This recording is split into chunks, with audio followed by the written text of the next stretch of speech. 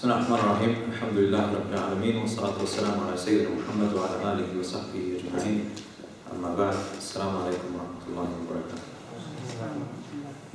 um, As this is the final lesson um, I'm going to choose certain names we're not going to stick to the order of the book today so I've just selected uh, a few names that we will go through inshallah the, the first thing that we will go through today is uh, Al-Latif, which is on page 17.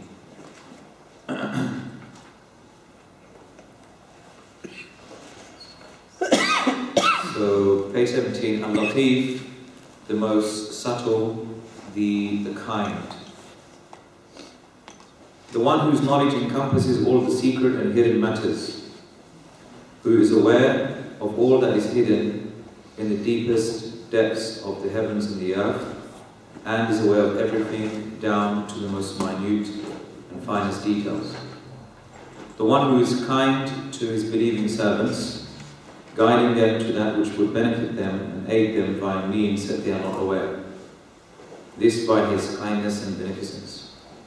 It also carries the meaning of Al-Khabir, it's the one who is uh, well informed, you can say, of the one who has intricate details of, of, knowledge, and Al-Ra'uf, the, the most compassionate. And then he quotes uh, some verses, no vision can grasp him, but his grasp is, um, but his grasp is over all vision. He is the most subtle and latif and the well acquainted, Al-Khabir. Do you not see that Allah sends down the water from the sky and the earth and becomes uh, and, and, then the earth becomes green. Indeed, Allah is the kind and the well acquainted. So Al-Latif and Khabir, as we can see, they are two names that are usually mentioned alongside uh, each other. Now, Al-Latif, the name itself has been mentioned seven times in the Quran, and linguistically, uh, is from the word latufa, latufa, latufa, which con conveys two meanings. One is that of gentleness. So, arifq, we say in Arabic, arifq, R-I-F-Q. So you have ar-rafiq, the, the one who is gentle. But linguistically, latufa can also mean something which is very minute and very sensitive. So in the Arabic language, um, the, the, the, phrase latif, it can, it can refer to both being gentle but also um, refer to something which is small and is aware of the finer details of something. Now obviously when it comes to the dhat, the essence of Allah, we do not describe Allah as being small or minute. But in terms of his knowledge, he is aware of the most finest details. And that's why Shaykh Sa'di rahimahullah, when he explained this name, he said it also conveys the meaning of Khabir, the well-acquainted. And we've looked at the name Al-Khabir before, and we said it was very similar to what other name of Allah?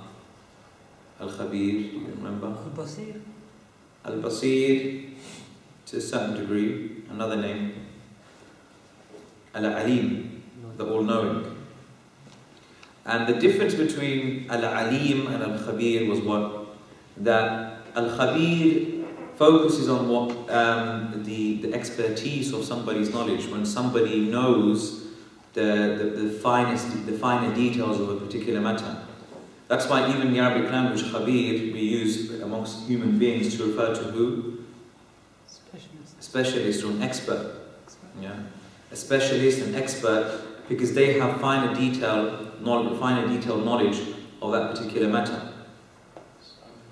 And there is a deep connection between al khibra, having finer knowledge of something, and that of gentleness. Okay? There's, there's a deep connection. Now, to understand this, I mean, especially those who are mothers, um, they know their children very well. And they know what makes them upset, and they know what makes them happy. And, you know, they can see, as soon as something is wrong with their child, they can see it straight away. Other people, they'll look at that child and they think that child just, just looks normal. But what do they have? They have a finer knowledge of the situation of the child, which enables them to be what? To be more gentle and to be more caring. To be more gentle and more caring. So, a stipulation to be gentle and to be very caring, one must be well acquainted. One must have fine knowledge of something. One needs to be sensitive to another person's circumstances and feelings. Without that sensitivity, then being caring towards that person is going to be very difficult. That's why being sensitive it's conditional for being caring. You can't have a caring person who is not sensitive. It, it, it just doesn't happen. Because what will happen if you lack sensitivity, you are bound to hurt somebody's feelings. If you lack that sensitivity, you are bound to hurt somebody's feelings. So, this is why the, the, the name Al Latif is it's different to just simply saying Al Rafiq because Rafiq we use for gentleness. Someone who's gentle, we say is Rafiq. But Latif encompasses gentleness, but at the same time, uh, knowledge of the finer matters. And that's why we say it's a name which carries the meaning of Al Khabir and Al Rauf. And that's why in the two verses that he quotes, uh, the name Al Latif is mentioned alongside the name Al Khabir. And this is something fascinating. Uh, uh, there was actually a PhD done by, I think it was a Palestinian scholar, um, studying the way Allah mentions His names alongside one another. And that's really interesting. Um, in Sheikh uh, Salman's book on the names and attributes of Allah, um, this was something that really interested him. And, uh, and this is when he came across his PhD thesis. That, because there's great significance, really, that when you see, because so many times, for example, what, what what, what, usually comes after Tawwab? Rahim, isn't it? And we said that holds significance because when Allah He forgives, um, is it a, a, forgiveness which is a must? It's a forgiveness out of mercy, isn't it? It's a forgiveness that when Allah forgives, He forgives out of mercy. So Latif is mentioned alongside uh, Al Khabir. Now, um, there's a beautiful verse which I want you to reflect on um, in Surah Yusuf. Um, so this is Surah Yusuf, verse. Uh, um, I think I put there 100 Um, yeah, so chapter 12, verse 100. Yusuf alayhi salam, this is after he's been reunited with his family. After he's been reunited with his family. So he says, وَقَدْ أَحْسَنَ بِي إِذْ أَخْرَجَنِي مِنَ السِّجْنِ That indeed he, I, my Lord, he was good to me when he took me out of the prison. وَجَاءَ بِكُم مِنَ الْبَدْوِ And he brought you from the outskirts of the city. من بعد أن نزغ الشيطان بيني وبين وبين إخوتي. And so when he, he, he said, uh, indeed Allah showed ihsan to me, okay, after he brought me out of the prison, and he brought you to me from the Bedouins after, and this is an important point, after shaitan had caused like disruption between me and my brothers. Between me and my brothers. Inna Rabbi latifun liman yasha. Indeed, my Lord is the most subtle to whoever He wishes. Innahu wal alimul hakim. Indeed, He is the all-knowing and the all-wise. now, who caused the animosity between Yusuf and his brothers? Was it his brothers or Yusuf? It, was his brothers, isn't it? Yeah? His brothers caused all the problems. I mean, he was very innocent. He was a young person. Okay, they were very jealous of him. But look what he said when, when he spoke about shaitan, you know, sowing that discord between both of them. After shaitan had sowed that discord between me and my brothers. Subhanallah. Look at the order here. He didn't say what? Between my brothers and me. Between my brothers and me. And this ayah is amazing because he's describing, he's saying Allah is Latif, but we can see him being Latif in this ayah. Okay? Because when someone has done wrong to you, the last thing you want to do is remind them all the time. You did this to me. You, you, you, you threw me in the well. You know, you're the one that was jealous of me. No, he, he wasn't like that, subhanAllah. He was not like that. And, you know, he didn't say, you know, shaitan, you know, sow discord in your hearts towards me. No, shaitan, he put discord between me and my brothers. There's two things here. Firstly, he's saying me before he mentioned his brothers. And secondly, he's saying between me and my brothers. And he didn't say what? After shaitan had sowed discord in the hearts of my brothers.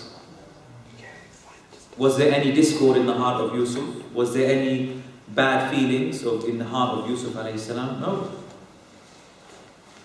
So look at the sensitivity of Yusuf salam. He's so careful with his choice of words, he doesn't want to hurt his brothers. Even though his brothers wronged him. Even though his brothers wronged him. And it would have been absolutely normal and perfect for him to say, you know, after shaitan had put discord, in, in, in the hearts of my brothers. And this is Yusuf salam being latif. Okay? So a key aspect of being latif is being empathetic. Putting yourselves in the shoes of somebody else. And that is essential towards, uh, to, to, for a person to, to be latif. He puts himself in somebody else's shoes to make sure that he, uh, he can feel what the other person is feeling. And that's exactly the, the quality that Rasulullah used to have. And if you read his seerah and his biography, you'll find it full of Rasulullah being empathetic and, and gentle and subtle towards his companions. Whether it be, for example, when he um, corrected Mu'adh ibn Jabal, who used to lead the people in prayer, but he sometimes his salah was quite long. You know, so he said, "Afattanun anta ya Mu'adh? Are, you causing fitna between people, O Mu'adh?" You know, that only women with children and old elderly people be considerate of other people. You know, prior to the death of Rasulullah we know that, you know, he, he spoke to the companions and said, if there's anyone that I have wronged, let me know now so that they can take, you know, uh, uh, the, the, the qisas from me.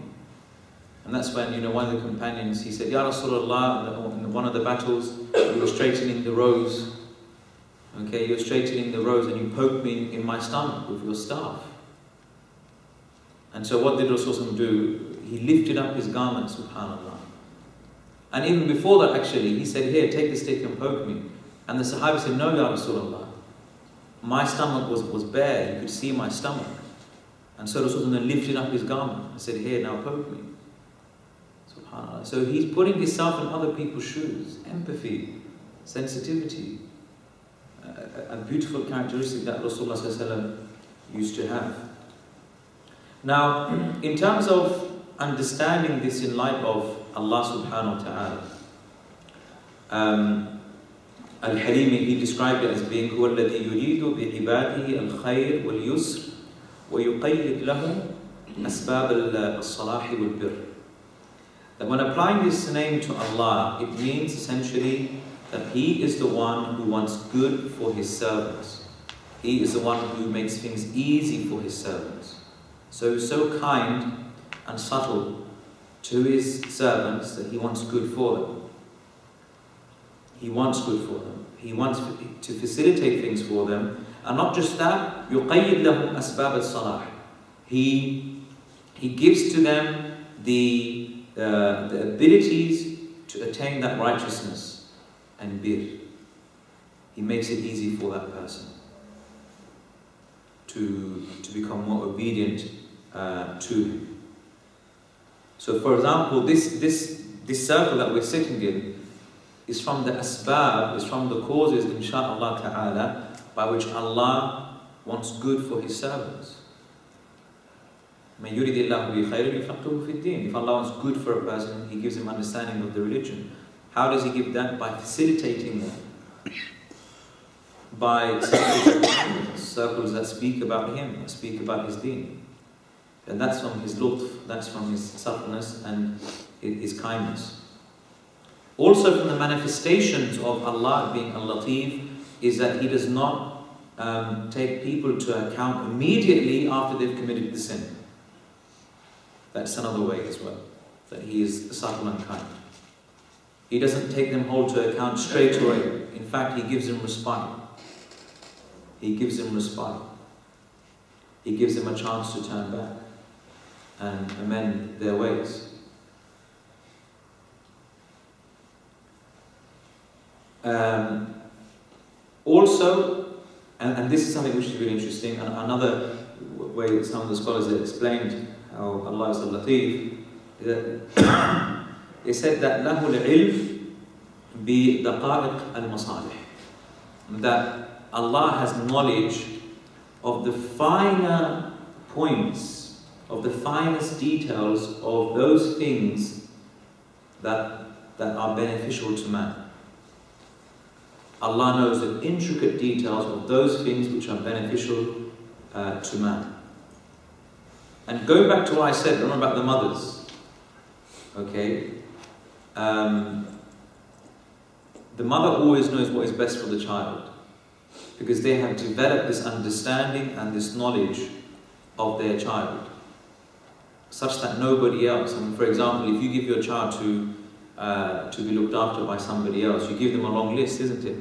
the things they like, the things they don't like, the things they can't have, the things they can have, when they need to eat, when they usually do this, when they usually do that.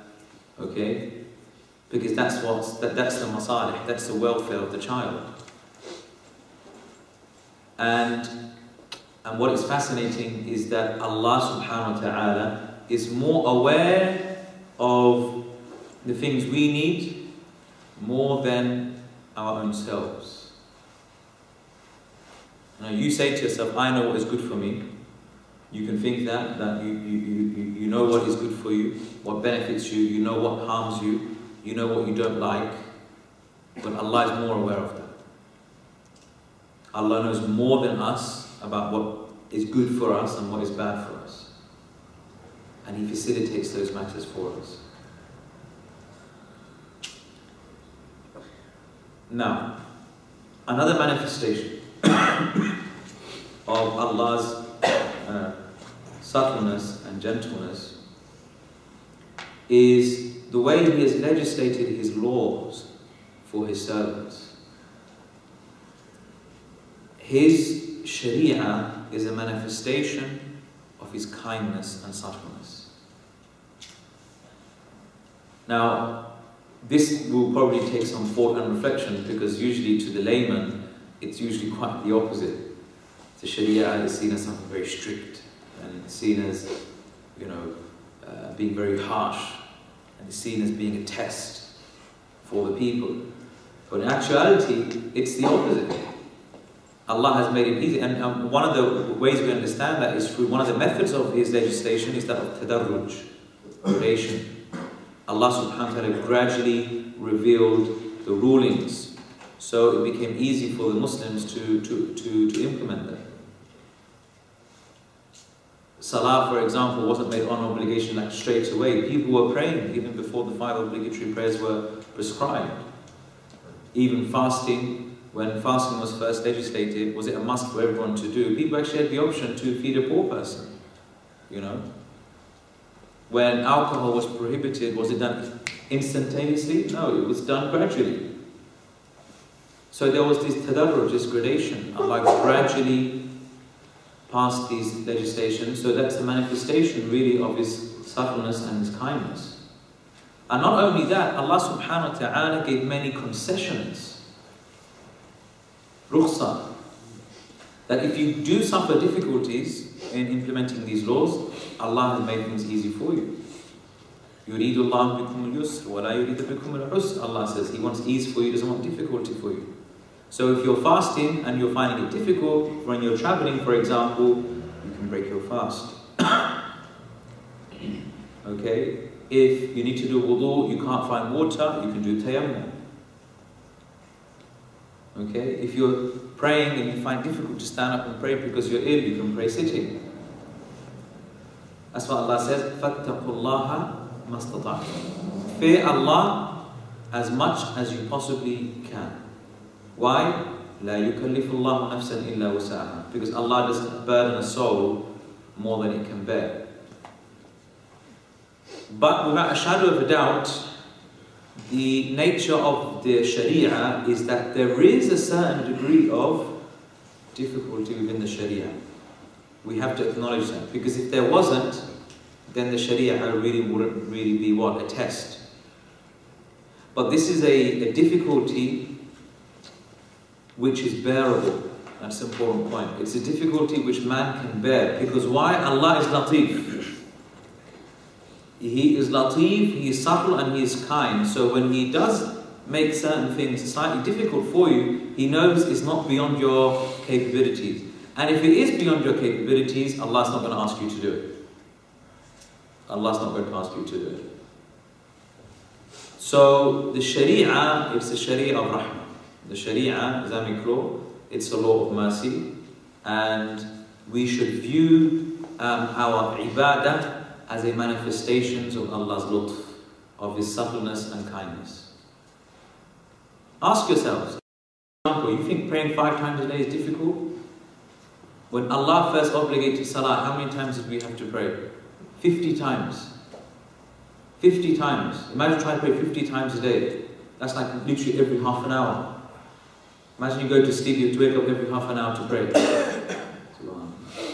That would be like, you know, very difficult.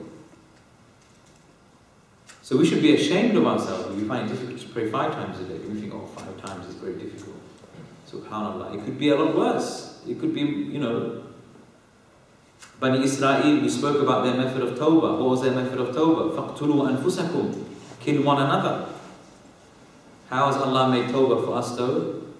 You should have that sincere intention, that remorse, that regret, and the intention not to go back to the sin and stop committing the sin. And you will find Allah to be the most forgiving. So really upon reflection, you will find the Sharia to be a Sharia of subtleties and compassion and mercy. But it requires thought and reflection. Because on the onset, it, it doesn't seem like that. Most non-practicing Muslims, when they look at Sharia, they see it as being very strict, lots of prohibitions. Even though in Islam, we, we say there are more things allowed in Islam than there are things which are actually haram. Think about it. Think about, okay, the foods that are haram. Are there more halal food or more haram food? More halal food. Even living here in the West, amongst non-Muslims, we say there's more halal food than there is haram food. Okay, and that's from the mercy of Allah subhanahu wa ta'ala. now, knowing that Allah is Al-Latif now, what are the consequences of knowing that Allah is Al-Latif, the most subtle, the most kind? Firstly, that um, the servant becomes more uh, aware of his own actions. He becomes more aware of his own actions. Why? Because what, what is one of the implications of Allah being Al Al Latif is that He's Al Khabir, the well acquainted. He knows very well um, your circumstances. He knows your circumstances very, very well. Okay? So the person becomes more concerned about his actions. It also leads the person, secondly, to uh, reflect over the subtleties of Allah. Because if, if, because if Allah is a Latif, then this must mean that He's showing acts of subtleties and, and, and, and kindness to us. So, for example, just reflect over your food. The food that we eat, for example, compare that to other animals. Now, other animals, take for example rabbits. What do rabbits eat? Carrots, grass, okay, rabbit food maybe they make and manufacture. But that's about it, isn't it? Okay? Imagine human beings, all they ate was carrots and grass and nothing else. Okay? People become bored, isn't it? Allah has given us a diverse a range of food for us to eat for our enjoyment as a blessing from Allah subhanahu wa ta'ala. And different types of food with different types of tastes. Sweet, sour, bitter. Okay. So look how Allah has favored man over many of his other creations. Look what, what, what horses eat, for example. They eat hay and grass. That's about it, nothing else. So, knowing that Allah is Latif should urge a person and push the person to reflect over the, the diversity of Allah's kindness and His lutf. Another manifestation is that the person should um, uh, try to characterize his own self with, with kindness and gentleness. He should also try to be gentle and kind. This was one of the characteristics of Rasulullah as we explained. And Rasulullah used to say, Man yahrum, man yuhram al-rifq, uh, yuhram al-khayr. Whoever is denied kindness, or whoever hasn't been given any kindness, then he will be denied any good you'll be denied any good. So goodness that you have is associated with, with kindness. That's what Rasulullah also used to say, that gentleness is not associated with something except that it beautifies it. And gentleness is never taken away except that it, it, it, it mars it, it tarnishes it. And this beautiful hadith, and this is a beautiful hadith in Musnad Ahmad, إِذَا أَرَادَ اللَّهُ بِأَهْلِ بَيْتٍ خَيْرًا that if Allah wants good for a household, if He wants good for a home, He enters upon him gentleness and kindness. And so you find, and there's so many ahadith that speak about rifq, that speak about gentleness and kindness, and how it is, it is linked to um, all forms of goodness. and, and again, this is something we need to reiterate, but that gentleness and kindness can only really flourish if the person has that sensitivity and is empathetic towards the feelings of other people.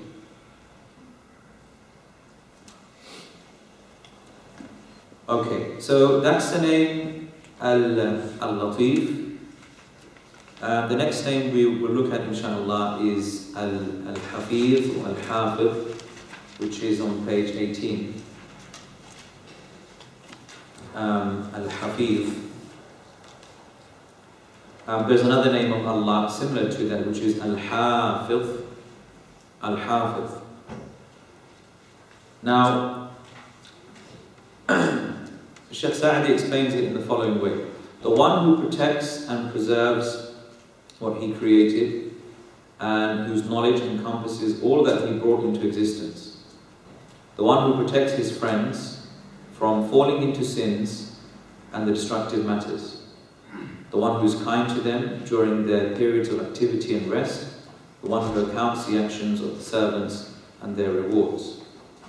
And then he quoted the verse, and Iblis did prove true um, his about them, and they followed him, all except the group of the true believers. And Iblis had no authority over them, except that we might test um, he who believes in the hereafter from him who is in doubt about it, and your Lord is the guardian over everything. Another verse, as for those who take friends and protectors besides him, Allah is the guardian over them, and you are not a disposer of their affairs. Now, we're going to come back to this explanation of Sa'di because uh, it's a very far explanation of it. Now, Al-Hafiz itself, it's been mentioned three times in the Quran. As for the name Al-Hafiz, then this has been mentioned once. Both names, Al-Hafiz and Al-Hafiz, they both originate from the word Hifz. Hafadha, Hafidha. Now, Hifz, we, we, we, we're used to hearing this term to refer to memorizing the Quran. Okay, someone who's Hafiz, okay, usually mispronounced as Hafiz, okay, is actually Hafiz, someone who's memorized the Quran, you say Hafiz. Uh, I mean, Hafiz is a more intensive form, but we, we don't usually use that for someone who's memorized the Quran. And linguistically, it, it literally means to, to guard something. That's why they've translated it here as the guardian. And why is that the case? Why is a Hafiz of Quran called a guardian? Because he has guarded the Quran and preserved it in his memory, preventing it from leaving him. Preventing it from leaving him. So he's guarded that Quran within him. And as we know, Rasulullah described the Quran as being ashaddu tafallutan. That it is something that, that leaves us very quickly like a camel which has not been tied. If you don't tie a camel, what will happen? The, the camel will just run off. The Quran is like that when it comes to memorizing. If you don't constantly revise your Quran, what will happen? You'll forget it. You'll forget it. Okay? So, from a linguistic perspective, it, it, it, it is used to refer to preserving and safeguarding something. Therefore, how do we apply this to Allah? How do we apply this to Allah? He is the one who preserves and safeguards um, the universe and what is in it. That's the first thing. He preserves and safeguards the universe. He sustains the universe. So there's a meaning of as-samad here. okay, he preserves it. I mean, just look at the universe itself, the way the planets they orbit around the sun. Perfect system. You can clearly see there's someone controlling all of that. But more importantly for the believer, he is the one who preserves and safeguards his servants. How does he preserve and safeguard his servants? From what in particular? From two things, two destructive forces. The first is the destructive forces of, of, of, of desires, shahawat. He protects him from them. And he also protects them from shubuhat, those doubtful grey areas, concepts and ideas that can corrupt your aqidah, your belief. He protects you from those matters. And these are the two things that lead mankind astray. A person, people's desires and people's faults. So Al-Hafiz or Al-Hafiz is the one who protects you and preserves you from those two destructive elements. But in order to attain this hifz, this preservation of Allah subhanahu wa ta'ala, a person must do his role in that. And his role is to preserve the boundaries of Allah. When you preserve the boundaries of Allah, Allah will preserve you. And this is based upon the hadith. Rasulullah said, and this is when he taught Abdullah ibn Abbas, who was very young. And this is a, a very important lesson for us as as murabbis and educators and, and parents. Uh, he, Rasulullah told Ibn Abbas, who was very young at that time, احفظ الله يحفظك. Preserve, very literally preserve or safeguard Allah, but it means preserve the boundaries of Allah, Allah will preserve you. احفظ الله تجده تجاهك. That preserve the boundaries of Allah and you will find Allah in front of you.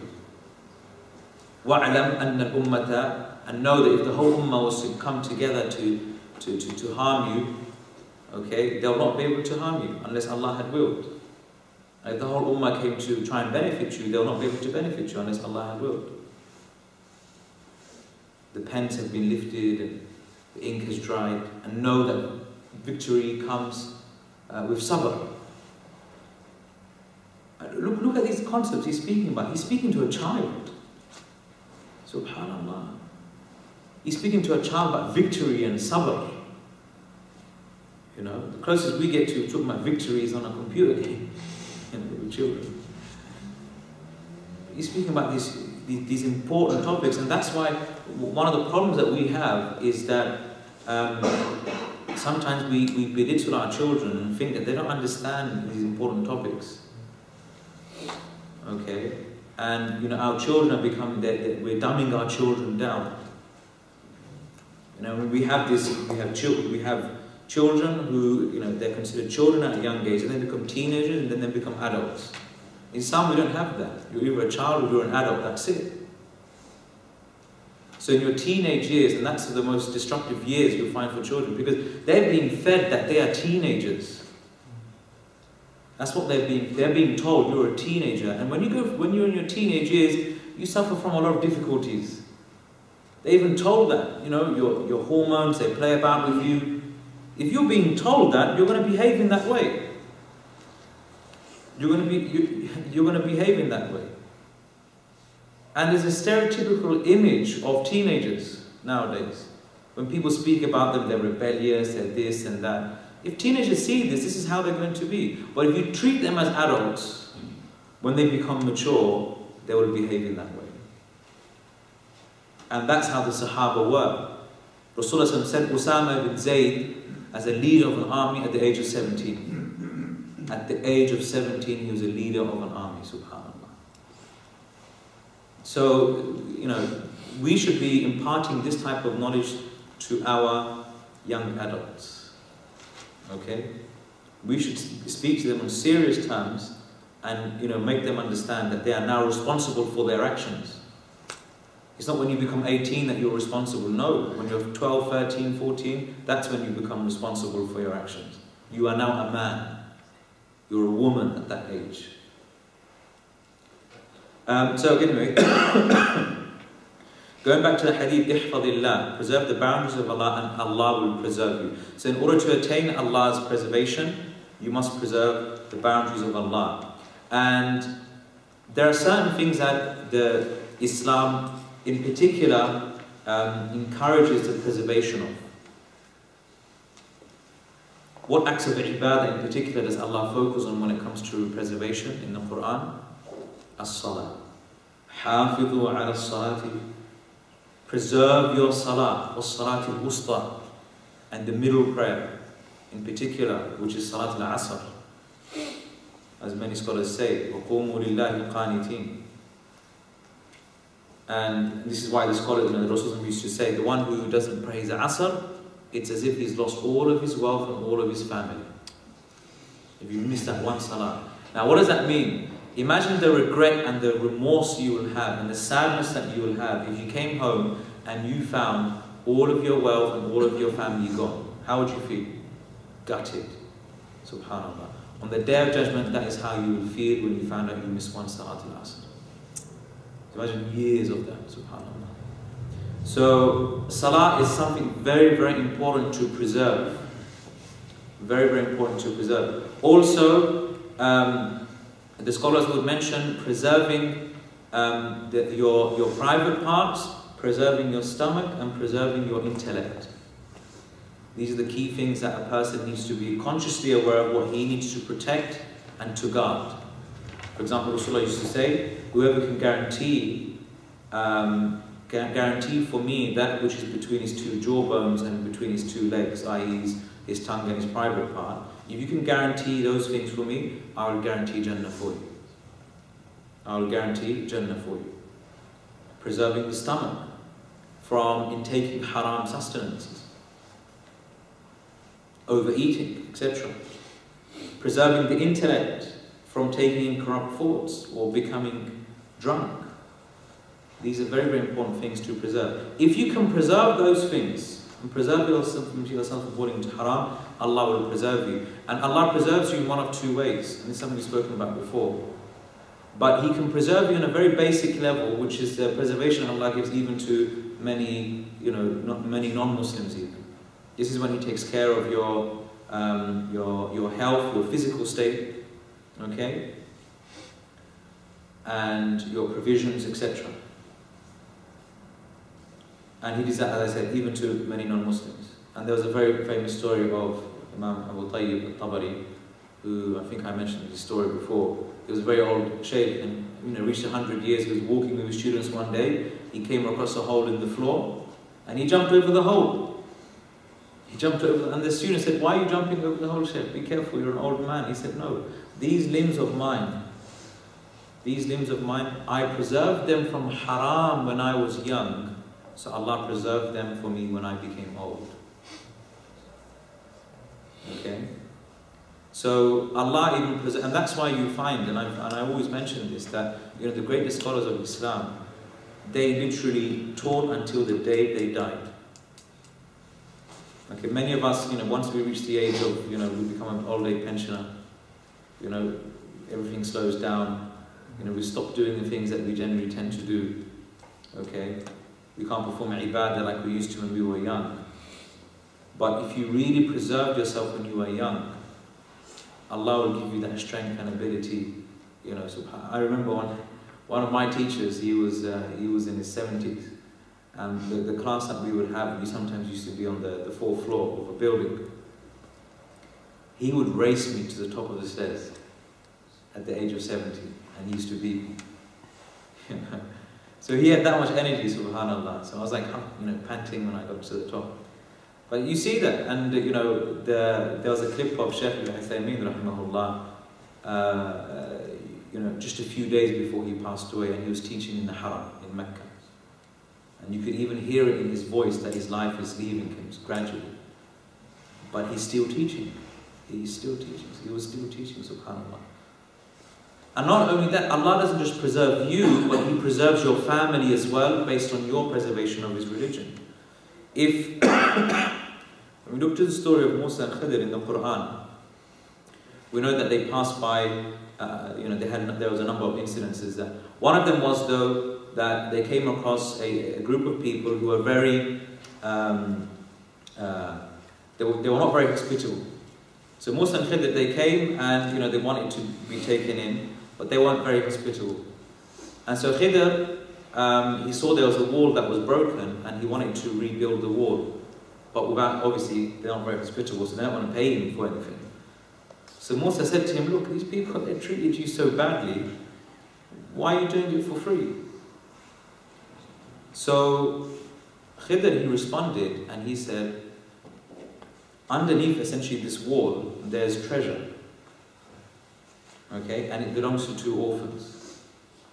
But what did he say? وَكَانَ أَبُوهُمَا صَالِحًا فَأَرَادَ رَبُّكَ That their father was a righteous man.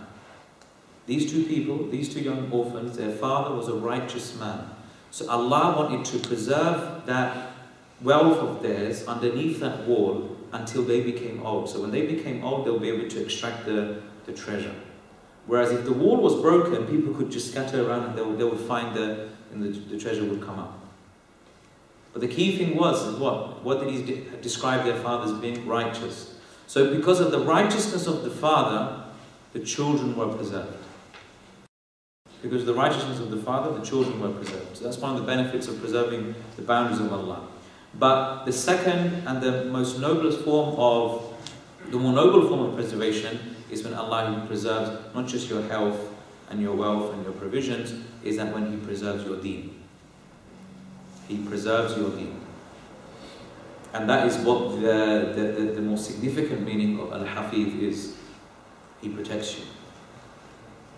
The other day, subhanAllah, I was, uh, uh, I was speaking to my wife about um, you know, some of the problems that a lot of sisters face nowadays. And there's one of her friends which uh, she's going through a lot of hardship. And she's the only practicing person in her family. Okay, and you know her brothers are like drug users, and you know their house get raided. Their house, her house gets raided all the time by police, and you know, subhanallah, what a difficult circumstance to be in. Yeah. And then you reflect, you think, subhanallah, look at our situation. Look how easy it is for us to pray, to fast, to do these things. And then you have people that live in an environment like that, and they struggle just to perform the basic acts of ibadah. So really Allah subhanahu wa ta'ala makes things a lot easy for us. It makes things very, very easy for us. And that's something we should really appreciate. And that's why whenever um, uh, you end up performing ibadah, you need to be grateful to the fact that Allah has given you the tawfiq. Okay, really requires a lot of gratitude to Allah. That the fact that you are able to perform these acts of ibadah. Now,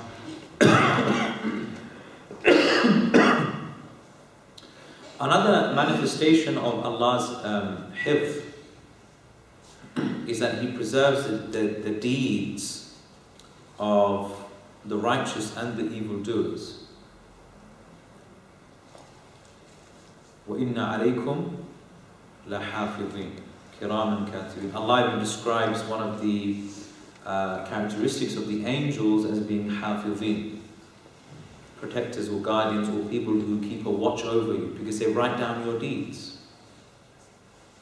Now, that could be viewed in two ways because if you're righteous, then this instills hope in you because you know that the deeds that you're doing will not go to waste because Allah has preserved those deeds of yours. They will never go to waste. And this is actually what happened with the Sahaba. They were worried at one stage that we're doing all of these good deeds, but we don't see them recorded anywhere. So, what will happen to our deeds? So, Allah revealed what as a response? What surah did Allah reveal? قَدْ أَفْلَحَ الْمُؤْمِنُونَ And we usually translate that as successful indeed are the believers. But that's not what it really means. And when we use the word qad in the Arabic language, one of the meanings it conveys that of tahqiq, which is actualization, meaning the believers have already achieved success. So you don't need to worry. Allah is aware of your deeds. He knows what you're doing. So this gives hope to the believer. But at the same time, it also instills fear for those who commit sin. Because Allah is not nasiyya, He is not someone who forgets. All your sins will be recorded down. So knowing that Allah is Hafiz instills hope for the righteous, but it instills fear in the hearts of those who commit sins and transgress against Him. Allah does not forget. Not like human beings. With human beings, sometimes we forget the mistakes of other people and the sins that people commit. And this is one of the problems with, with human beings, is that sometimes you know, we've committed many, many sins years ago. Okay, and they're just in the back of our memories. We've committed those sins in the back of our memories, and you know, we tend to belittle those sins because we think, oh, we've done that many, many years ago. That was many years ago. But no, Allah doesn't forget. Allah subhanahu doesn't forget. He, he, and He will remind you every single action that you did, all of those actions were preserved.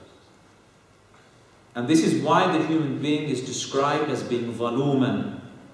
He's described as being someone who's unjust to his own self. Because he does wrong to himself, but then he carries on as if he hasn't done any wrong. And that's the person destroying himself. Okay, the effects of knowing that Allah subhanahu wa ta'ala is Al-Hafiz. Firstly, the person um, and this is something which we mentioned, but we'll briefly point to. Firstly, the, the, the person himself will um, be more conscious of preserving the boundaries of Allah because he knows that Allah will preserve him as a result of that. And, and he preserves him in two ways, as we know. Um, also, one of the things that Allah preserves as well is um, the Quran. إِنَّ نَحْنُ نَزَّلْنَا الذِّكْرَ وَإِنَّ لَهُ لَحَافِظُونَ Verily, we have sent down this reminder, this Quran, and verily we shall preserve it. So the Quran is free from being tampered from with. It will not be uh, changed, it will not be altered, nothing will be added to it, nothing will be subtracted from it. Allah has preserved it. So that instills in a believer a sense of uh, okay, it instills within a, in a person a, a strong iman, knowing that Allah will preserve the, the Quran itself. One of the du'as of Rasulullah was, uh, was related to hifz. Allahumma hfadhni min bayna Oh Allah, protect me and safeguard me from in front of me, khalfi, from behind me, from, from behind me, yamini wa an shamali, from, from shimali, and from my right and from my and, and my left, min fawqi, and protect me from above. So the, this is one of the things that we should try and incorporate with, within our supplications Oh Allah, protect us, safeguard us. Allahumma hafadhni. Okay? And this is a phrase that we usually say when referring to people of knowledge. When, they, when, when someone's passed away, we refer to them as Rahimahullah. May Allah have mercy upon him. If he's alive, Hafidahullah. May Allah preserve him, may Allah protect him. That's not just for people of knowledge. Okay? That should be for every believer. For yourself, you can make that dua for yourself. Allahumma ihfadhni. Just a simple dua. Allahumma ihfadhni. Allahumma ihfadhni. oh Allah, protect me, uh, protect my iman, protect my health, etc. Okay, that's, uh, we'll stop at that for Al-Hafiz. The, the, next name that I want to discuss will probably take some time, so we'll probably um, do half of it now, which is Ar-Razzaq, the provider, which in your notes it's on Ah, I forgot to, sorry, just to go back to um, uh, what Shaykh Sa'di said about Al-Hafid. Let's just read that again. the one who protects and preserves what he created and whose knowledge encompasses all that he brought into existence. The one who protects his friends from falling into sins and destructive matters. So the destructive matters are related to desires and doubts, as we said and the one who's kind to them during their periods of activity and rest. And that's really interesting. Um, the one who is kind to them during their periods of activity and rest. Now, human beings, they suffer from weaknesses and times where they're not feeling very, very strong. Those moments are, um, are a critical point for the believer because that is when it's very likely that a person can fall into sin it's very likely for the person to fall into sin. That's why it's very important that you have that protection from Allah during those moments of uh, rest. And that's why Rasulullah said that um, once the companions complained to him that, you know, when we are with you, O Rasulullah, you know, we feel as though, you know, we are walking in the gardens of Jannah. When we go back to our families, you know, we are reminded of the dunya, etc. Rasulullah said, if you can remain in that same state when you are with me, the angels will come and they will shake your hands. If you can remain in that state. But there is a time for this and there is a time for that. Meaning that to achieve that state, I mean, for example, when we're in the masjid here, our iman is, is rise, you know, we, we are remembering Allah. We go home, you know, we get tempted by the dunya. To remain in the same state, it's, something very difficult to ask it is very, very difficult. If you can achieve that state, then alhamdulillah. But there is a time for this and there is a time for that. Okay? So the person needs to have moments of recreation, but the important thing is he doesn't fall into haram.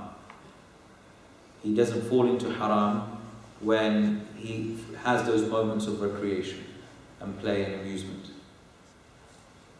And this is really important for the youth. Now, something that um, uh, a lot of people ask, uh, maybe this is not pertaining to everyone sitting here, but people who are very keen on seeking knowledge, one of the, the, the, the things that they ask is, you know, should I get married now or should I get married later? Because the scholars of the past, they would actually encourage um, you know, students of knowledge to get married when they were really late. Like Imam Ahmad rahimahullah, Ahmad ibn Hanbal, uh, he was 40 years old when he got married. That's, that's quite old, okay? And so they would, you know, people would discourage, scholars would discourage students of knowledge, serious students of knowledge from getting married. Because why? They need to dedicate all of their time to seeking knowledge. But the youth of today are not that, they're not of that caliber. We have to make that clear. Because they, no matter how much eagerness they have to seek knowledge, they will not spend their entire day, their entire days and nights seeking knowledge. They'll read a book for a few hours a day, and that will be all. So what are they going to do with the rest of their time? What are you going to be doing the rest of the day? You need to be making sure you're not falling into sin. Because as soon as you have that free time, that's when the doors of shaitan they open to you. Okay, so being preserved, Allah to preserve you in times of uh, uh, uh, inactivity is extremely, extremely important. And you need to be consciously aware that when you don't have many things to do, that's when shaitan is going to work very, very hard with you. Very, very hard with you. And so, you know, to, to make you fall and to slip and to fall into haram. Okay, so the next name, let's, let's begin inshallah, is Ar-Razzaq, which we said is on page uh, 22 at the bottom. And uh, it actually carries on to the next page. So the provider, the one who provides for all of his servants. There is not a creature on the earth except that Allah provides for it. His providing for his servants is of two types. The general provision which extends to the righteous and to the sinner, the first and the last. This is a provision that is required by the bodies. The specific provision, this being granted to the hearts, nourishing them with knowledge and faith. Also, the lawful provision that has been appointed for the benefit of the religion. This being specific to the believers and apportioned in accordance to their different levels of what his wisdom and mercy dictates. And then he quotes, Say, Come, I will recite to you what your Lord has prohibited you from. So join not anything in worship with him. Be good and dutiful to your parents. Kill not your children because of poverty. We provide sustenance for you and for them. Come not near shameful sins, whether openly or secretly. Kill not anyone who Allah has forbidden except with a just cause. This he has commanded that you may understand. And uh, and they say, so we provide, the, the point being here, we provide sustenance for you and them. So don't kill your children out of fear of poverty. We will provide for them and we provide for you. Now, this is a, we'll come back to this verse. And then uh, there's another verse here, I created man and jinn only that they may worship me. I seek not any provisions from them nor do I ask that they feed me. Indeed, Allah is the provider, Ar-Razzaq, the owner of power, the most strong.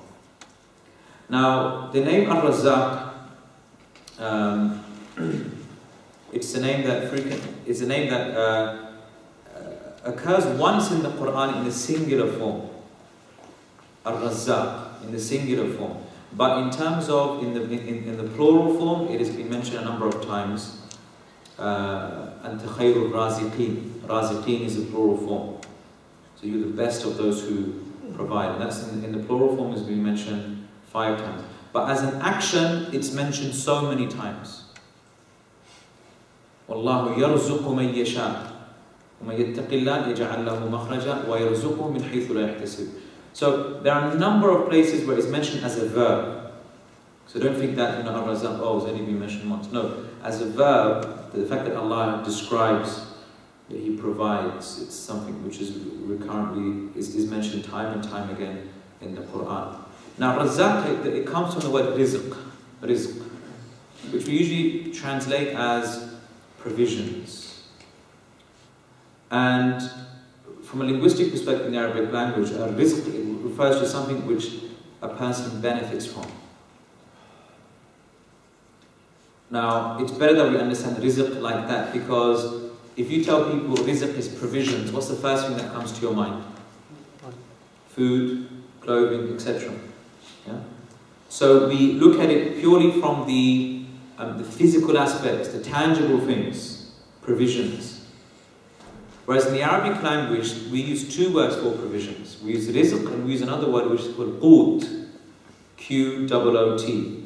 Qut. And one of the names of Allah is Al-Muqit. Yeah. Now, qut is provisions as well. But what's the difference? Qut refers to the physical provisions that you need to stay alive. Food, clothing, shelter. So what we refer to as rizq, really it is qut. So what is rizq therefore? Rizq is more extensive and more generic than qut. Qut, we said it just relates to the physical and the tangible you know, provisions. But Allah is Ar-Razzaq. He provides us with spiritual sustenance. And that is the greatest form of sustenance. That's the greatest form of sustenance. But that's what we fail to understand. Because when we refer to Allah as Razzaq, the only thing that comes to our mind is what? Food, clothing, shelter, drink, and what have you. But the greatest thing that He provides is Iman and Taqwa. Okay? And that's why, look, look at this verse. Allah says, وَمَن يَتَّقِ اللَّهِ يَجْعَلْ لَهُ مَخْرَجًا وَيَرْزُقْهُ مِنْ حَيْثُ لَا يَحْتَسِبُ Whoever has taqwa of Allah, Allah finds out a way for him. And He provides him from a means in which he will he, he cannot perceive. Now when many of us read this verse, we think of wealth. That if you have taqwa of Allah, Allah will increase you in rizq. He will increase you in wealth, He will increase you in sustenance, which is true, without a shadow of a doubt, because obedience leads to an increase of provisions. But there is also another meaning of this verse, which is that if you have taqwa of Allah, Allah will increase you in guidance. Okay? Because Allah says, um, uh, uh, that Allah increases in guidance those who are guided. Allah increases in guidance those who are guided. So if you are guided, Allah increases you in that guidance. And that is the greatest form of provision. And that's why Shaykh Sa'di, when he explains uh, Ar-Razzaq, he says there are two types of provision. So the general, which is in essence what he's referring to, he's referring to qut, okay, he's referring to the food and what have you. And the specific provision, which is the most important provision, is being granted to the hearts nourishing them with knowledge and faith. Nourishing them with knowledge and faith. Now, one of the du'as of Rasulullah sallallahu alaihi wasallam, one of the first things he used to say when um, uh, it, it, was one of his supplications in the morning, اللهم إني أسألك علما نافعا ورزقا طيبا وعملا متقبلا that's one of the first du'as that he used to make during the day in the mornings.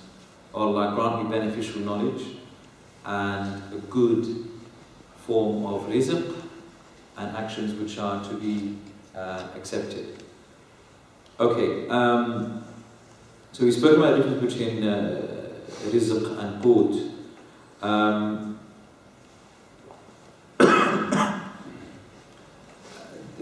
there are other manifestations of uh, uh, of this name, which I think we'll, we will leave until after Salah, inshallah. So we'll just stop there for we'll break for Salah, but we'll resume after that, inshallah.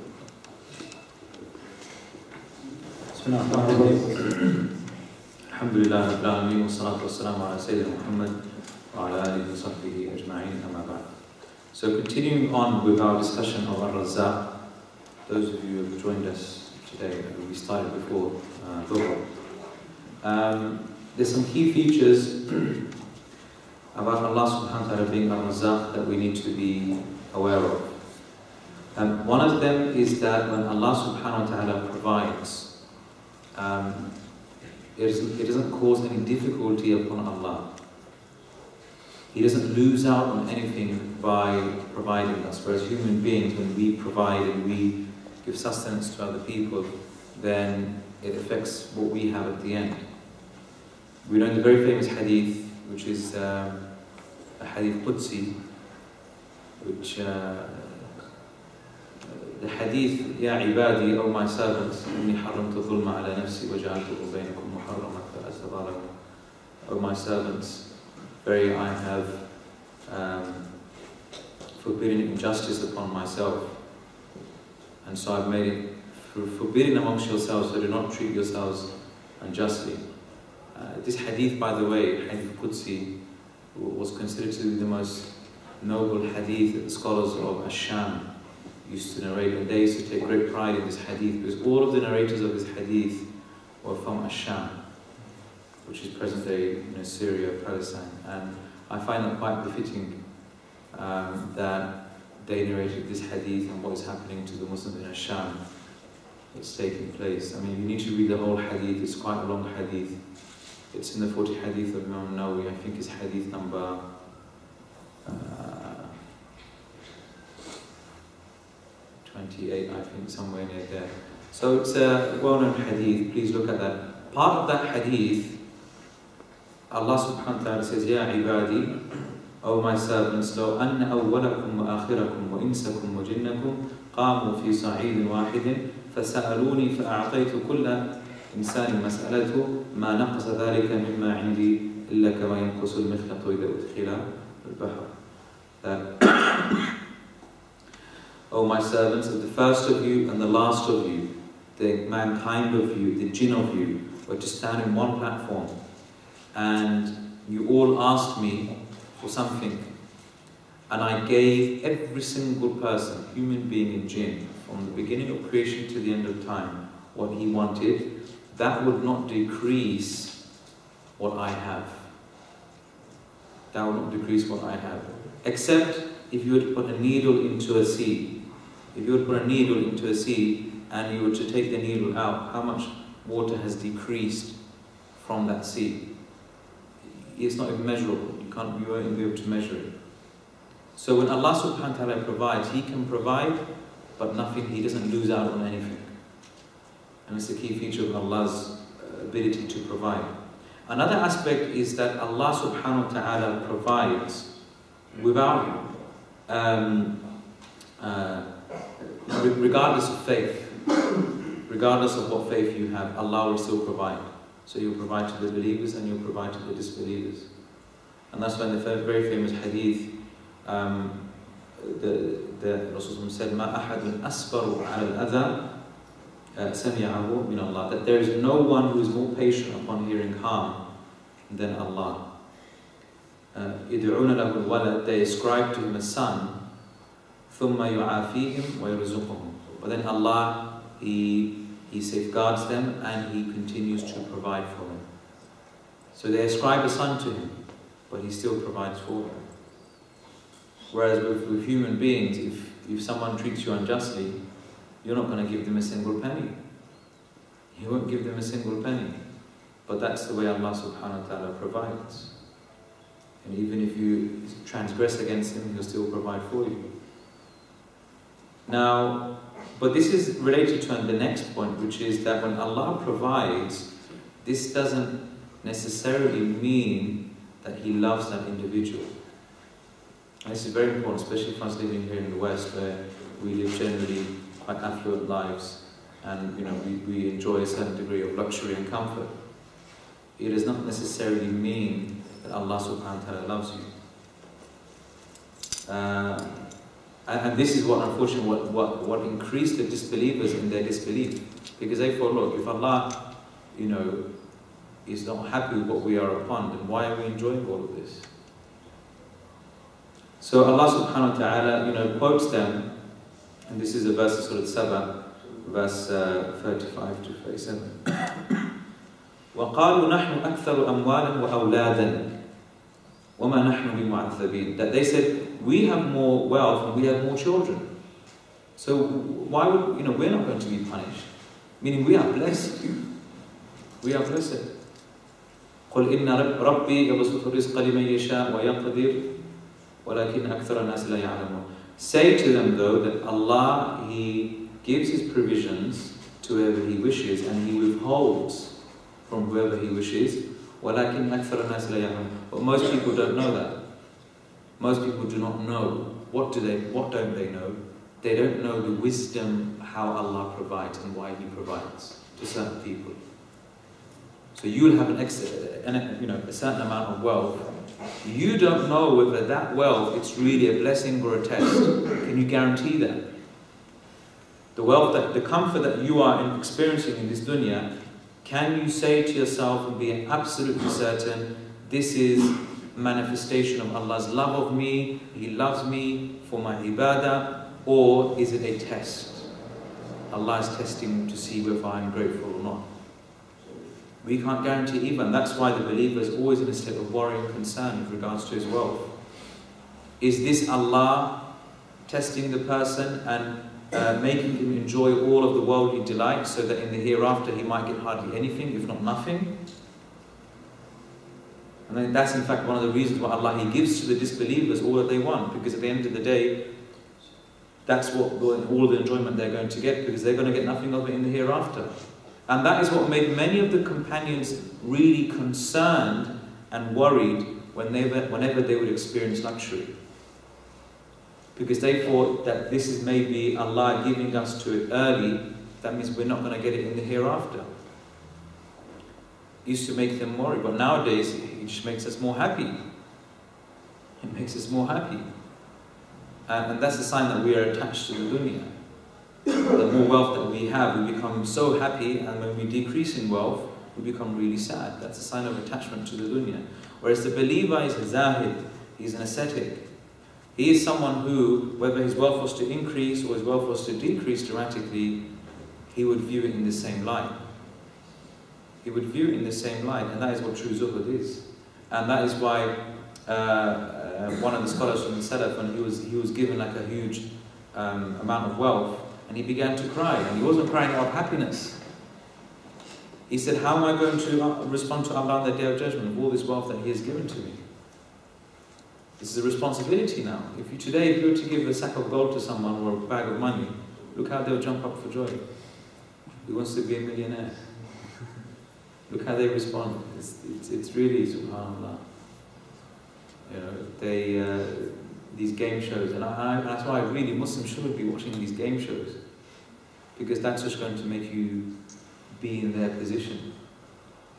And I find it fascinating how Muslims are interested in these shows. Really, uh, we should be disgusted at their attitude. We really should be disgusted at their attitude, how when they get some wealth, they jump up for joy. And, Subhanallah.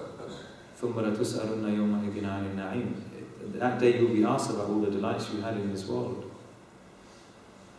On a side note as well, there are other shows as well that uh, I think should, should be cautious whether they should be watching. One show in particular, which is The Apprentice Okay, and I know many Muslims watch it. But I would ask yourself, really, should you be watching a program like that? Why? Because the people that participate in that show, contestants, they're working against one another. They backbite, they lie, they cheat, they try to step over another person. But the type of characteristics you want to be learning and gaining. I mean, personally, when I see that show, I just, you know, I just can't stand it because I just see bad akhlaq. And when the believer sees bad akhlaq, he flees from it. He flees from it. He doesn't enjoy it.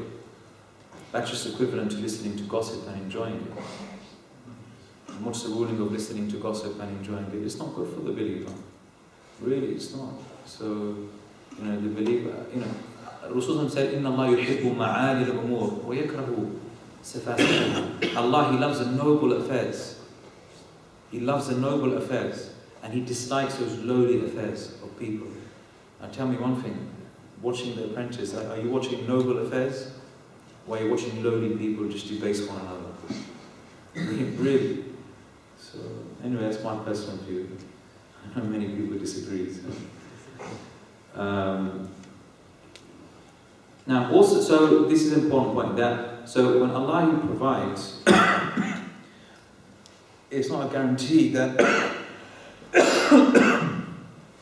it's not a guarantee that Allah loves that person. Perhaps it could be the case that this is Allah Subhanahu wa Taala uh, testing that individual.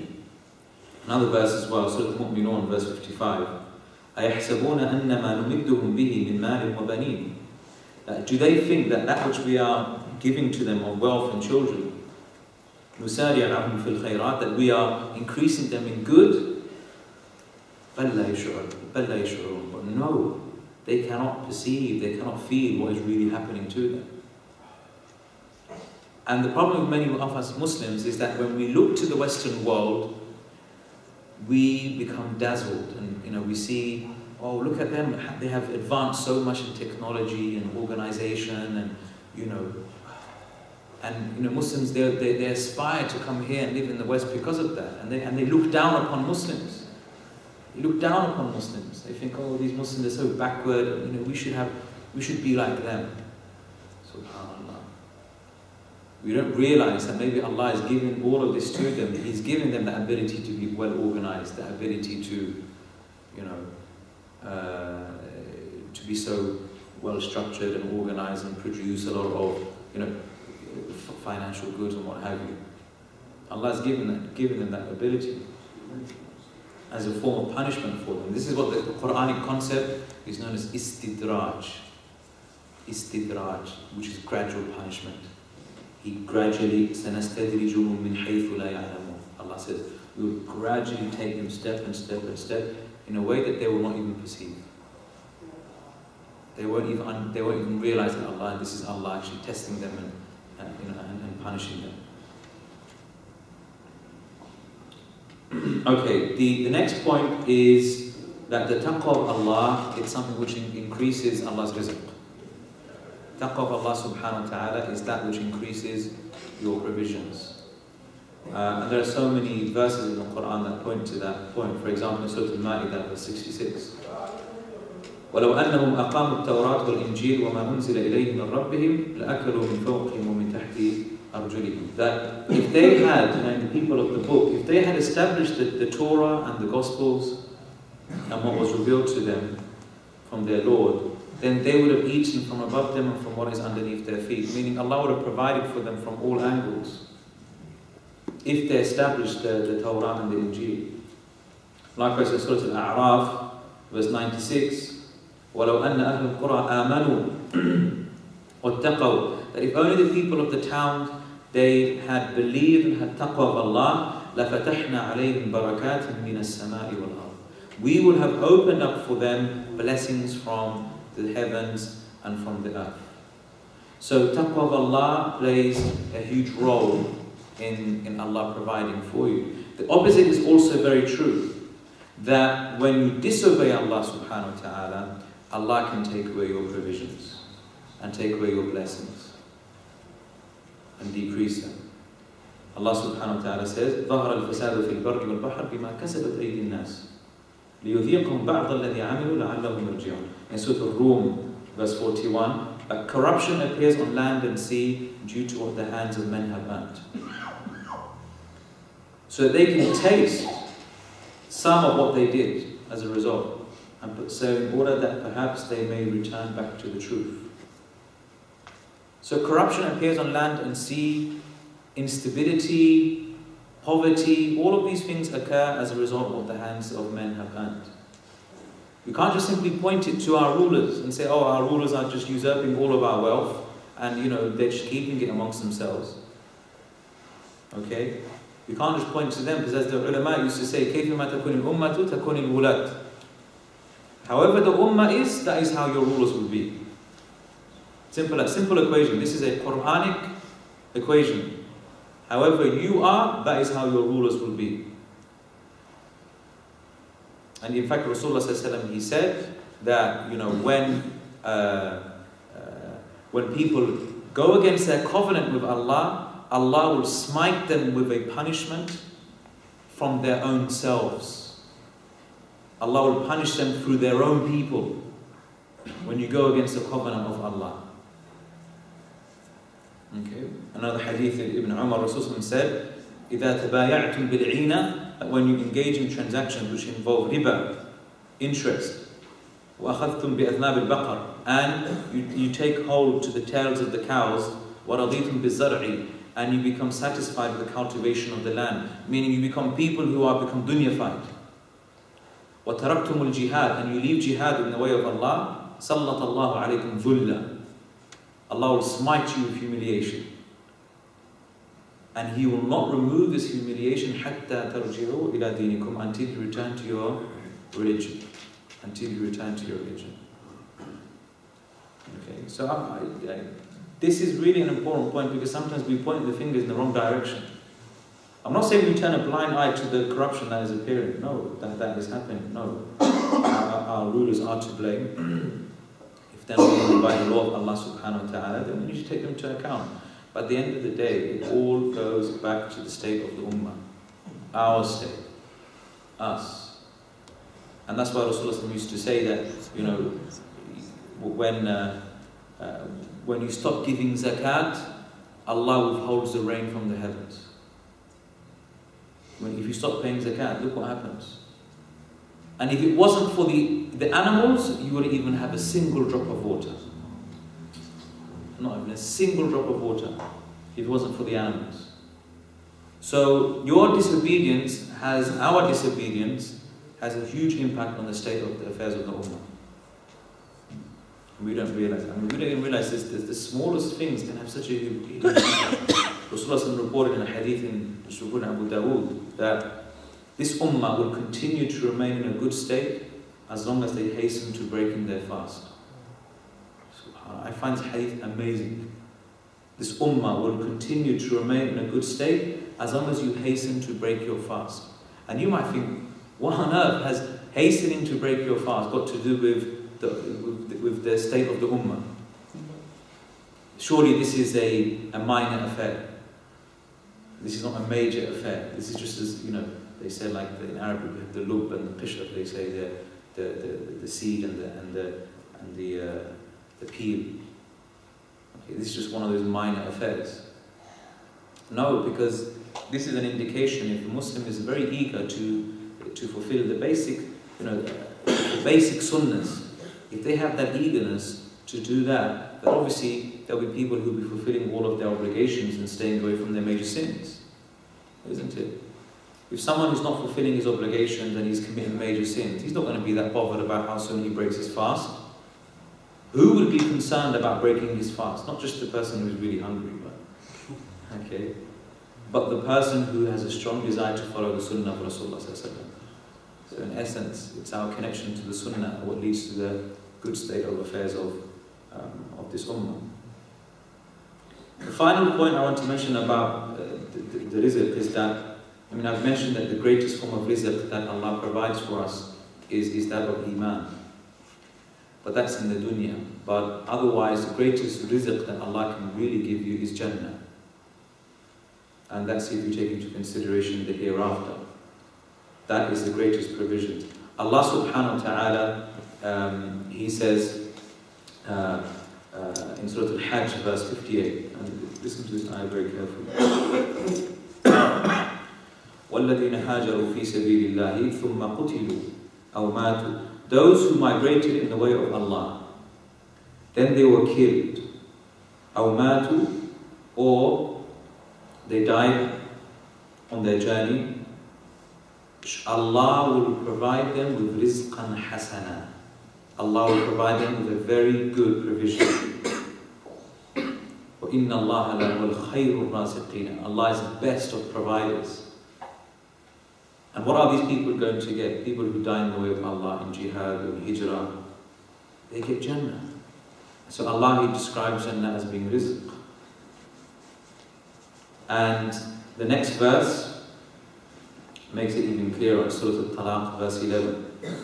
وَمَنْ يُؤْمِنْ بِاللَّهِ وَيَعْمَلْ صَالِحًا Whoever believes in Allah and does good deeds, يُدْخِلْهُ جَنَّاتٍ تَجْرِي مِنْ تَحْتِهَا الْأَنْهَارِ Allah will enter him into paradises underneath which rivers flow. خَالِدِينَ فِيهَا أَبَدًا They will reside therein for eternity.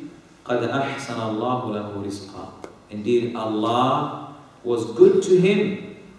Allah perfected, showed beneficence in his rizq to him by providing him al-Jannah.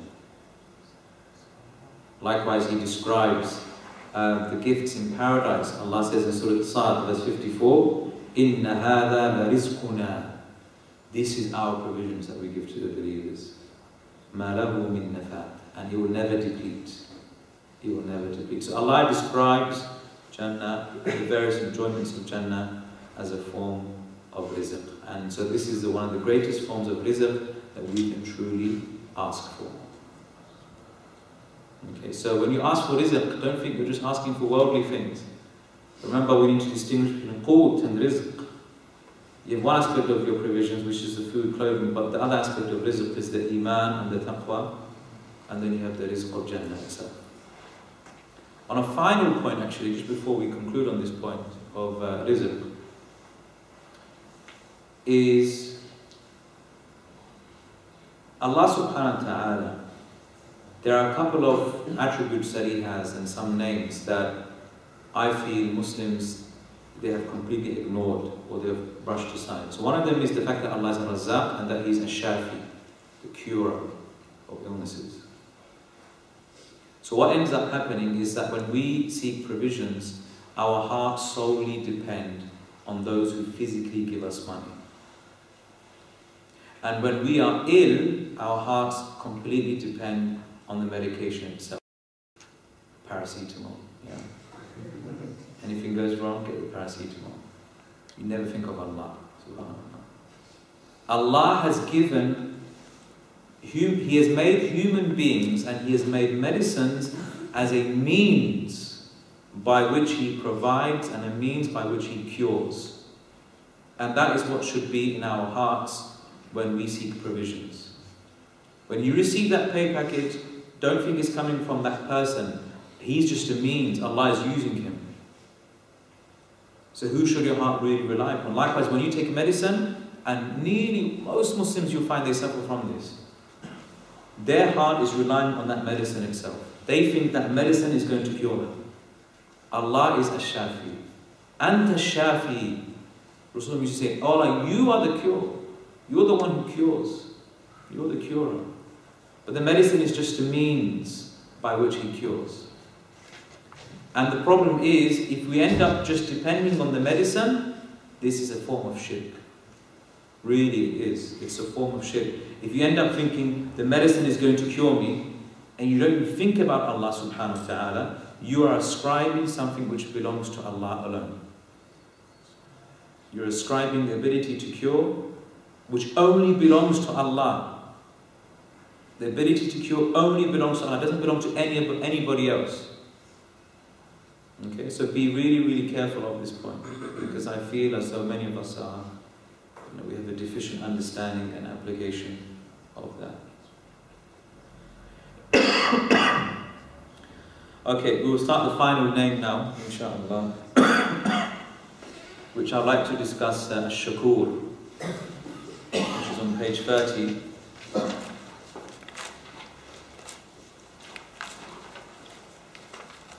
I want you to do Al-Ghani as well.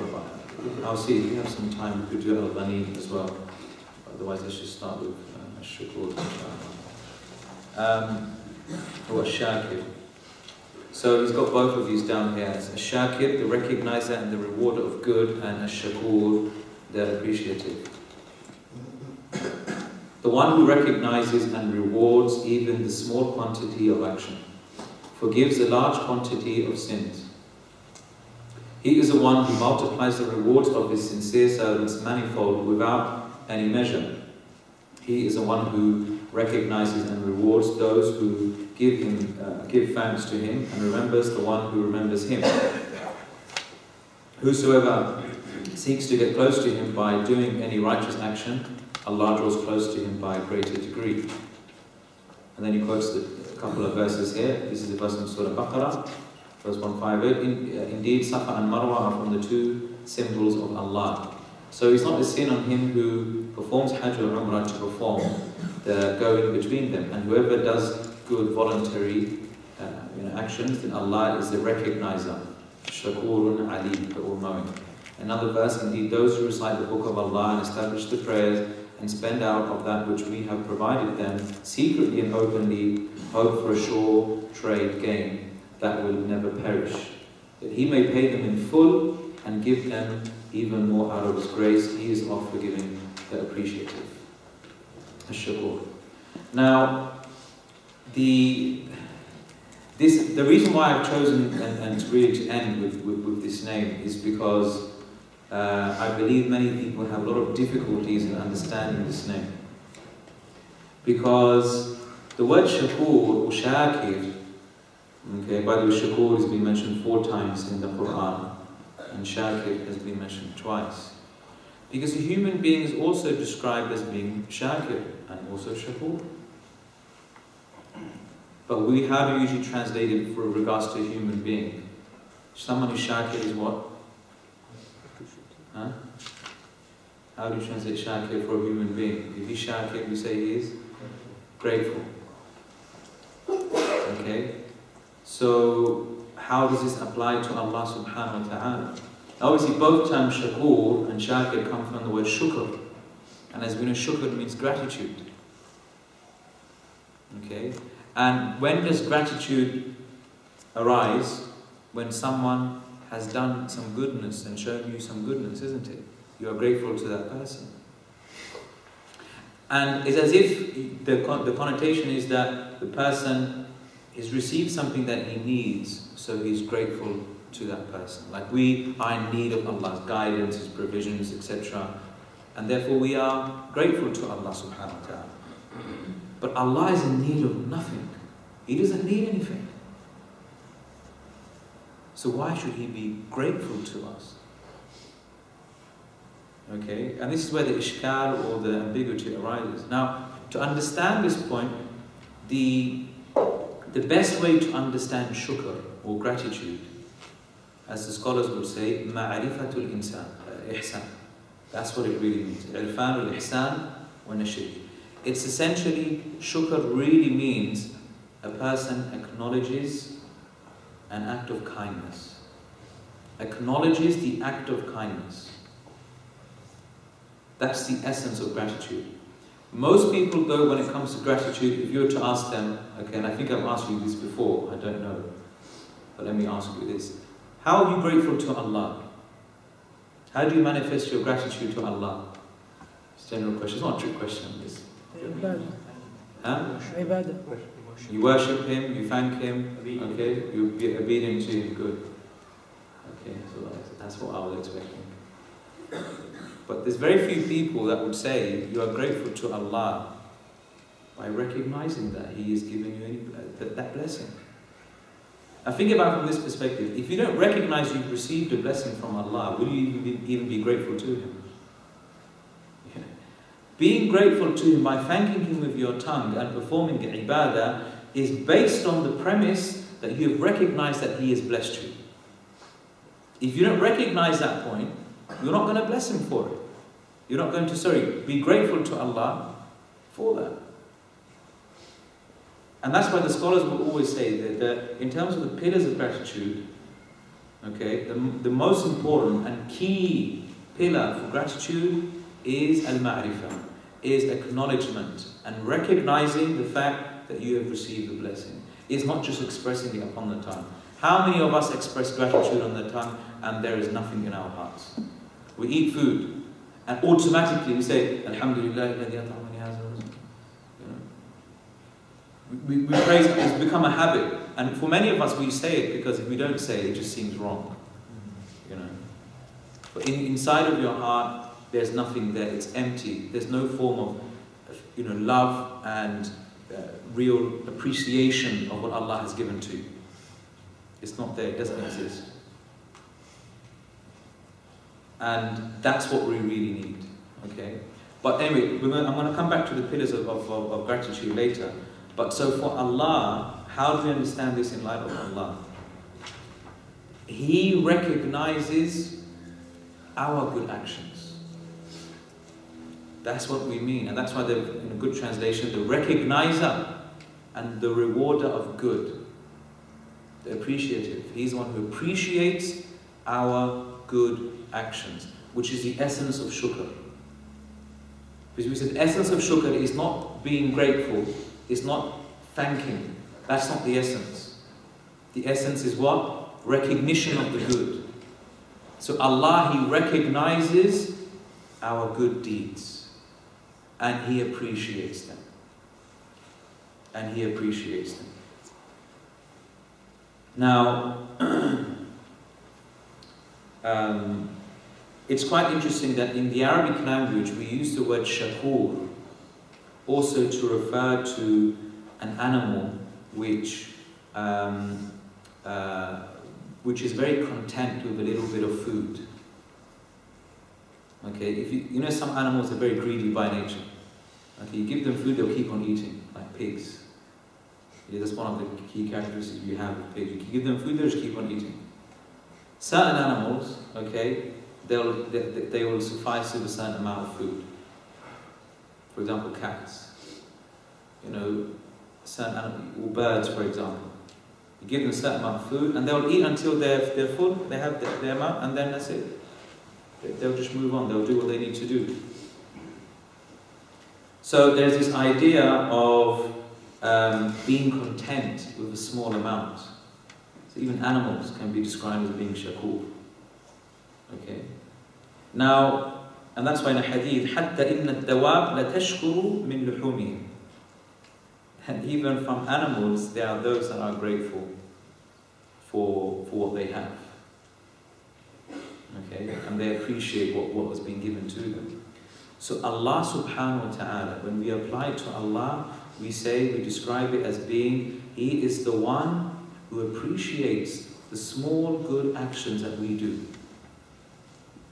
The most smallest of good deeds, Allah will appreciate.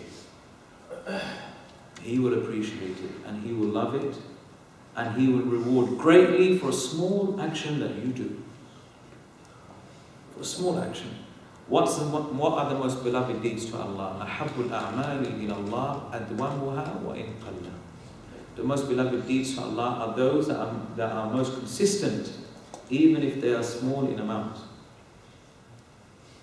Okay, human beings, on the other hand, they just like to see lots of everything in large quantity before they become appreciative. But Allah, that's not the case.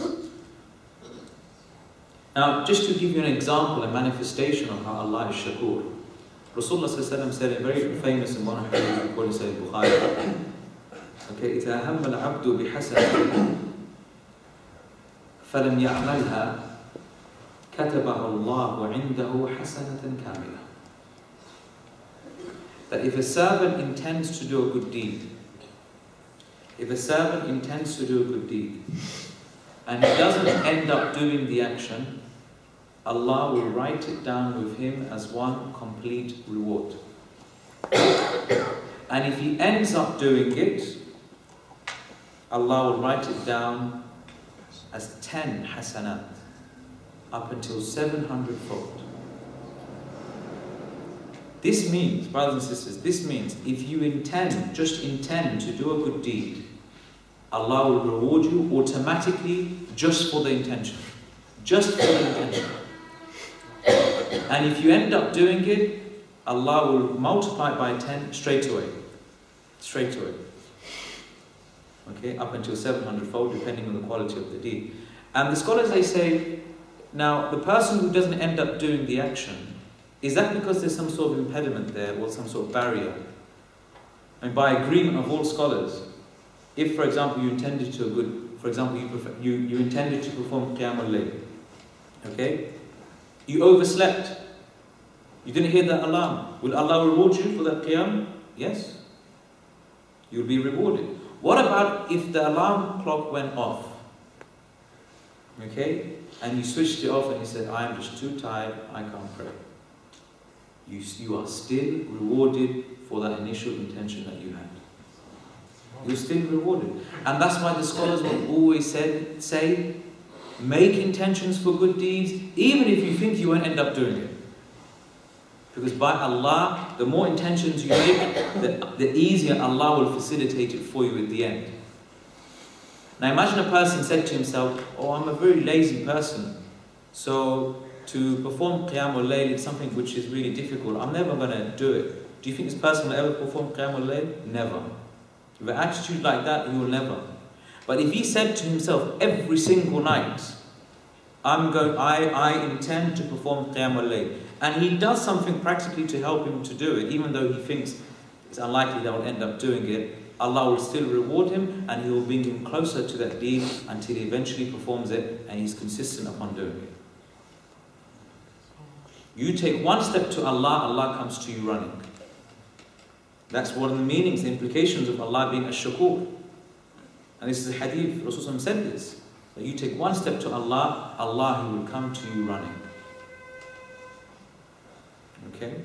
So, and if you end up doing the action, okay, Allah multiplies it by 10 straight away.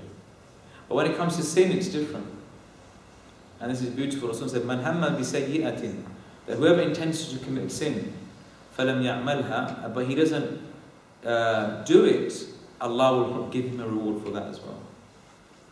But that's on the condition that he changed his mind. Okay? Not because there was some impediment there. If there was some barrier that, that prevented him from, for example, you want to go murder someone, you run into the kitchen, look for a knife, you don't find a knife. Okay?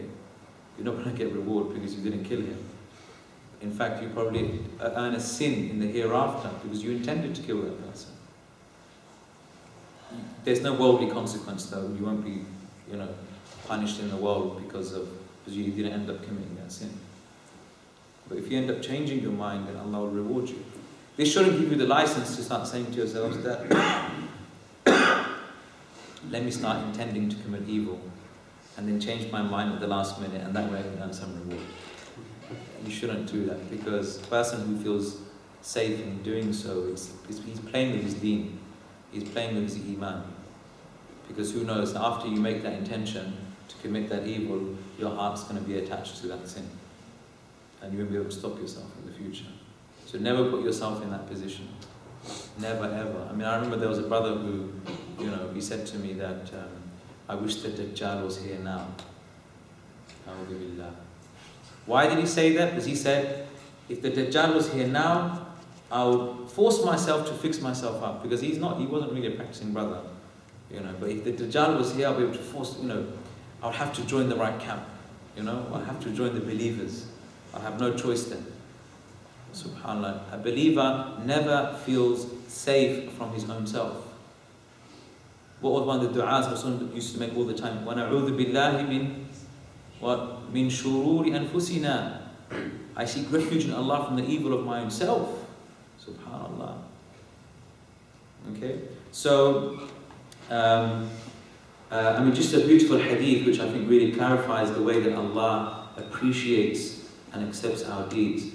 Rasulullah says, Man tasaddaqa bi'adli tamratin min kasbin tayyib. That whoever gives charity just from a part of a date, part of a date from a halal income, وَلَا يَقْبَلُ اللَّهُ إِلَّا طَيِّبًا and Allah only accepts that which is good and wholesome and halal. What does Allah do? فَإِنَّ اللَّهَ يَتَقَبَّلُهَا بِيَمِينِ Allah accepts that act of charity with His right hand.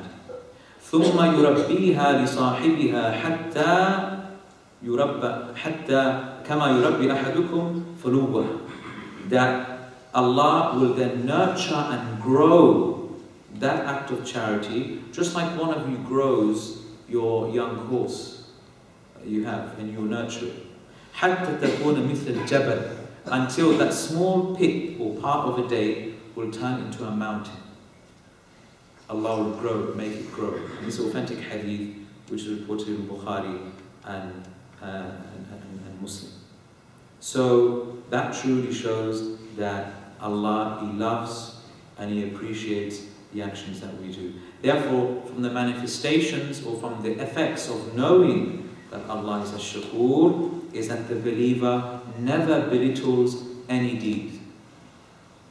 He never belittles even the most smallest of actions. And we are living in a time where uh, obviously the Ummah is suffering from a number of calamities and disasters and wars and conflicts. And so sometimes people, you know, they, they, lack insight And so they rush into things thinking that this is what we need to be doing and we shouldn't be concerning ourselves with other things. You know, let's put aside fiqh and aqidah and these issues. We should be concerning ourselves with the affairs of the ummah only. And they fail to understand that it's when you learn your fiqh and your aqidah that you are actually correcting the affairs of the ummah. Umar ibn Khattab he wrote a letter to Sa'id ibn Abi Waqqas, who was the leader of the Muslims of Iraq at that time. And he said to him in this letter, well documented letter, know that the only reason why we defeat them is because of their sins. And it's not because of our weapons that we have. So he said, because that's always been the case, the kuffar have been militarily more advanced than the believers. It's still the case today. So we don't defeat them based on military prowess. It's because of their sins that we defeat them. So therefore he said, if we commit sins like they do, they will defeat us. So go and command your soldiers to clip their nails and to remove their underarm hair. SubhanAllah. Look at what he is attaching importance to in a battlefield. In a battlefield, he's attaching importance to these matters. And then we have people today saying these are minor affairs. People who have this understanding, they do not understand, you know, uh, they don't understand the nature of the religion. They don't understand the sunnah of Allah, the universal laws of Allah, how He brings about change. How He brings about change. Mean, the other day I was watching on, on, on YouTube and, you know, some young Muslims who, Allah guide us and guide them all, you know, they were mocking their religion and they were saying, you know, looking at people who speak about fiqh, you know, and, and, and, and these fiqh related issues, mocking them and they would say, shut the fiqh up. You know, shut the fiqh up, they would say, mocking it as if, you know, I mean, A'udhu Billah, this resembles a type of swear, okay, that people say, and as if like, why are you concerning yourself with these things? These petty arguments. No, this is part of our deen. We don't distinguish between these, you know, so-called minor issues and major issues. They're all major issues. As soon as we, we begin to belittle a part of the religion, and that is when we will fall into mistakes. And that's what Rasulullah said, لا تحقرن شيئا من المعروف. Don't belittle anything of good. Don't belittle any form of goodness. Like we said, even when it comes to hastening to break your fast, don't belittle that. Because the state of the ummah is connected to that. لا تحقرن شيئا من المعروف ولو أن تلقى أخاك بوجه طلق Even if it means meeting your brother with a smiley face, with a smiling face. Don't even belittle that because that is something which is really important. Rasulullah said, اتقوا النار ولو بشق تمرة. That you know, protect yourself from the hellfire, even if it means it is a part with a part of a date, giving it in charity. فَإِن لَمْ يَجِدْ فَبِكَلِمَةٍ طَيِّبَةٍ And if you can't find even a part of a date to give in charity, then say a good word. Say a good word. But do not belittle good deeds. And that's really important.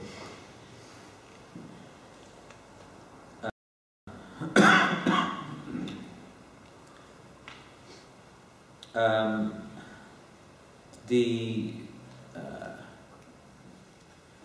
another manifestation of uh, knowing that Allah subhanahu wa ta'ala is a shakur is that we should strive to recognize His blessings upon us as well. Just as Allah knows and appreciates our deeds, then it is more important that really, or you know, very important that we appreciate and understand Allah's blessings. And this is for a number of reasons. Firstly, because Allah says, أَكْثَرُ النَّاسِ لَا يَشْكُرُونَ Most of mankind do not give thanks. And when Allah speaks about shukr in the Quran, what is the opposite of shukr? Kufr. Allah makes an, a, a comparison between shukr and kufr, and kufr is to deny Allah's blessings. And kufr is also disbelief. And also, we said it's important to recognize Allah's blessings. Why? Because it is a means by which uh, you are grateful to Allah. And we said, what's the basis of being grateful to Allah? Internal recognition. Firstly. Secondly, praising Allah upon the tongue. for that blessing after truly internally recognizing it, and thirdly, using that blessing in a way to please Allah through your ibadah to Him. So if Allah bless you with wealth, give sadaqah, give zakat. If Allah bless you with knowledge, teach it to other people. Allah give you physical strength, use that to help the Muslims around the world, etc. So whatever blessing Allah has given you, you use that in a way to please Allah. And these are three major pillars that scholars would consider to be the three pillars of shukr, the three pillars of servitude. Although Ibn Qayyim would add to that that uh, another important pillar is that you become humbled and abased in front of the one who gave you those blessings. That's a manifestation of gratitude as well. And you know this can be found in um, or acknowledging the, the blessings of Allah subhanahu wa ta'ala, uh, His favors upon you. It, it's found within a beautiful dua Rasulullah used to make, which is which he called Sayyidul Istighfar, the master of all supplications when it comes to seeking Allah's forgiveness. And this is something that you should say on a daily basis, in the mornings and in the evenings. And whoever does that, he will be from the people of Jannah. And this is the dua Rasulullah said, Allahumma anta rabbi. Oh Allah, you are my Lord. La ilaha illa ant. There is no one worthy of worship except you. Khalaqtani wa ana abduk. You created me and I am your slave. Look how this all begins. What is this all? I'tiraf, recognition, acknowledgement. You are my Lord, I am your slave. You created me. All acknowledgement. Uh, وَأَنَا عَلَى عَهْدِكَ وَوَعْدِكَ مَا اسْتَطَعْتُ And I am trying to follow your covenant and this pact that I have with you according to the best of my abilities. أعوذ بك من شر ما صنعت. I seek refuge in you from the evil that I have committed. أبوء لك بنعمتك علي and I confer your favors upon me.